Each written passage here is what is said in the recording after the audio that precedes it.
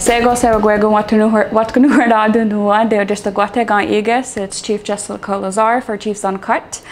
Um, I'm here to talk about some of the work I've been undertaking in the past couple of weeks.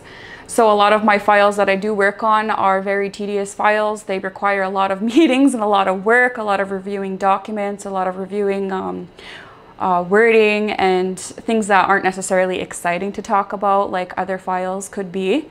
Um, one of the more, I guess, exciting things that are to come from my files is that we're looking at uh, Tioweró:ton priority setting.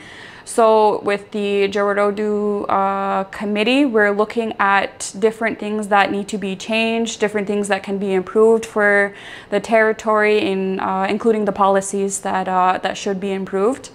So that's something to definitely look forward to. Um, another thing that I've been working on and will be working on hopefully in the coming weeks is to plan a hunter summit for Kahnawake.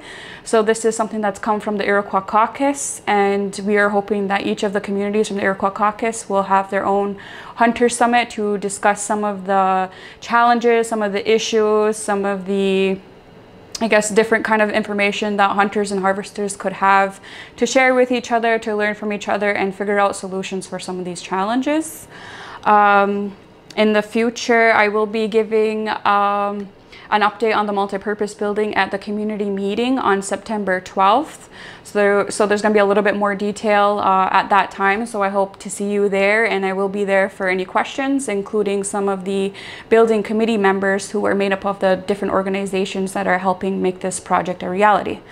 Another thing that I'm going to be, of course, attending is the AFNQL, um, AFNQL Committee on Languages and I will be attending that on September 19th, 20th, and 21st.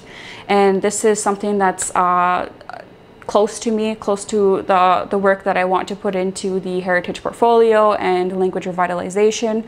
So I'm there to network, I'm there to get ideas from other communities and bring back information for our community to use best practices, to figure out different funding, and to try and advocate for our languages uh, in the province.